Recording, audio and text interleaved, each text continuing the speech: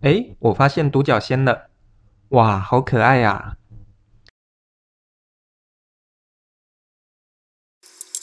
哈哈，好啦，独角仙的季节要开始喽！虫室里的独角仙宝宝也开始化蛹，甚至羽化了。一起来看看独角仙吧！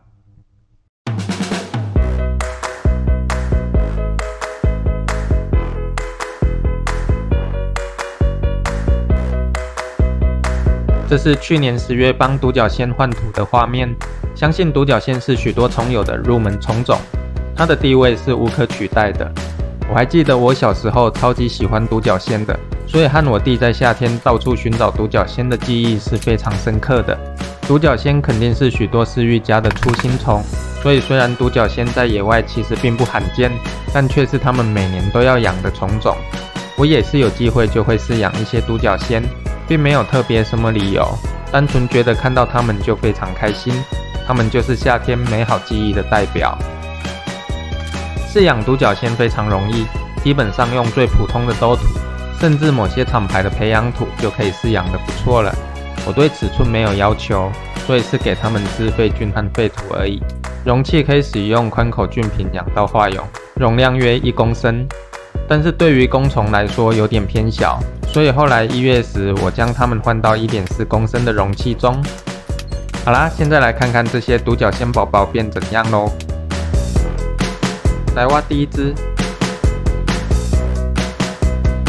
哦，看到勇士喽！直接开天窗。哇，看到它的脚了，太棒了！我来把蛹拿出来看看哦。哈哈，真是漂亮的家伙啊！超级喜欢独角仙呢。化蛹的感动，看几次都不会腻。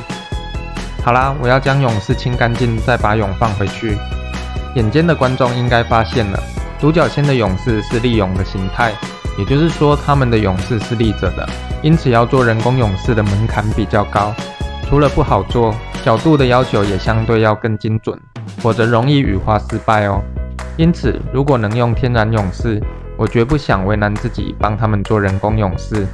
当然，如果万不得已要用人工勇士，网络上也有许多行家的教学哦。接下来继续挖吧。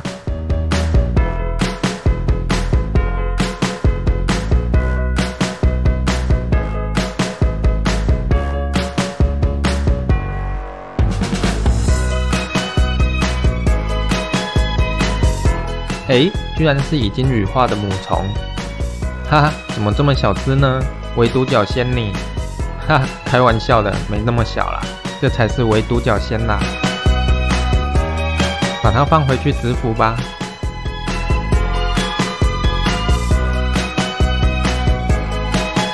这只是母虫，你看母蛹的头部有看起来像小脚的构造呢，不过羽化后就没脚了。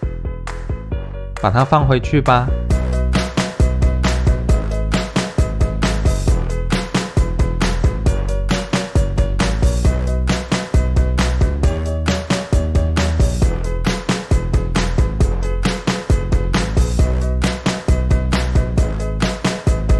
这只也是母蛹，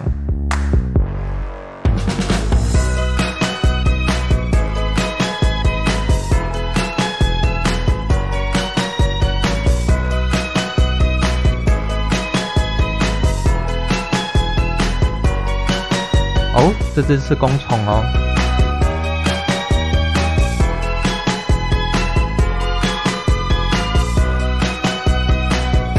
不算大，但就是很漂亮啊。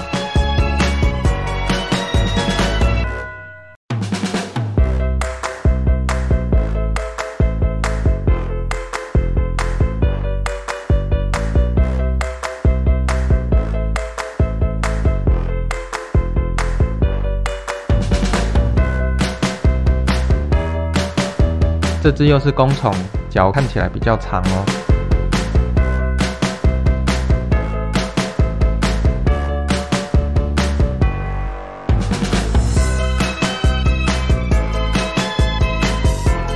真的好美啊！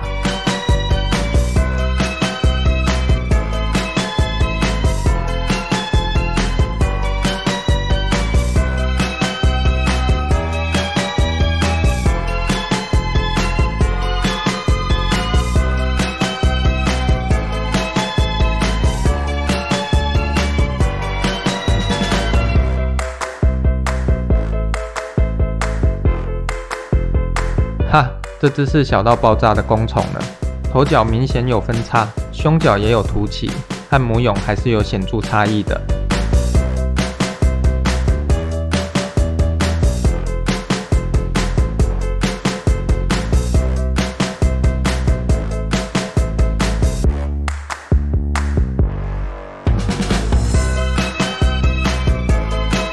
这是另一颗母蛹。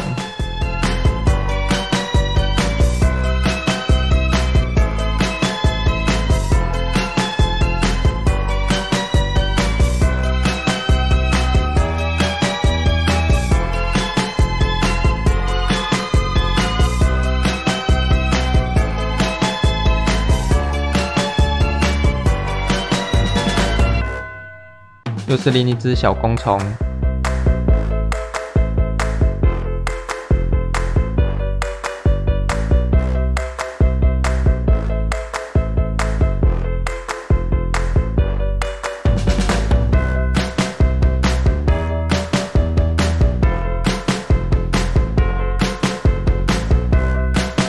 这只是母虫。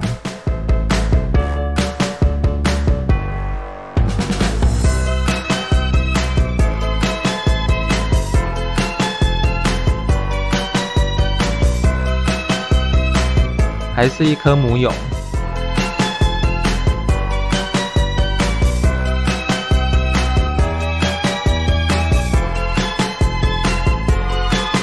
哎呀，这只是前蛹。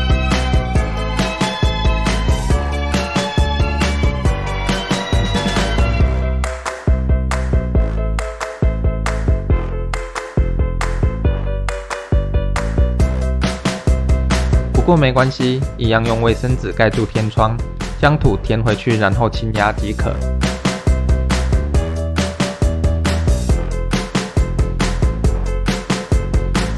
最后一只，哈，羽化了！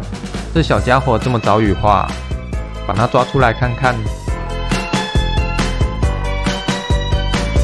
真的好可爱啊！小归小，但还是非常漂亮呢。